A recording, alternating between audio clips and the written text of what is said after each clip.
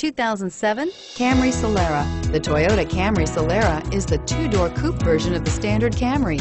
This is a vehicle for people wanting the comfort and convenience of a sedan, while retaining the young sporty feel of a two-door coupe.